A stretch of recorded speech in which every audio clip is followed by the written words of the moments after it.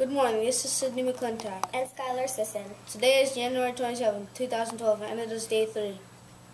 Lunch for today is chicken patty on a whole wheat bun or basil garlic pasta, golden fish square on a whole wheat bun, fresh mixed veggies, fruits galore. Books are asked as quotes today due to the testing. Attention 5th and 6th graders. There will be an adult guest from another school district in our building today.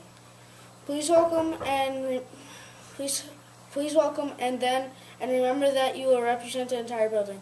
We know you will make us proud. Thank you. Congratulations to the winners of the bonus computer time.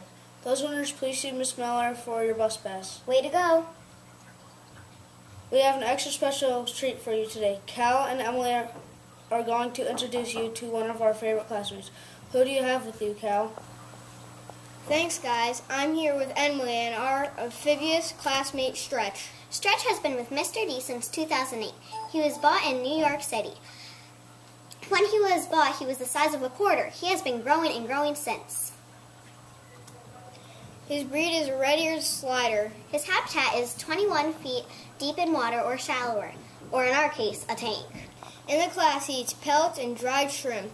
But in the wild, he eats elota and plants. For meat, he eats live crickets and earthworms.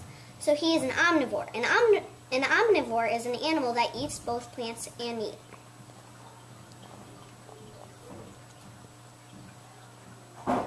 If you would like to meet Stretch, stop by our classroom in room 105 any afternoon.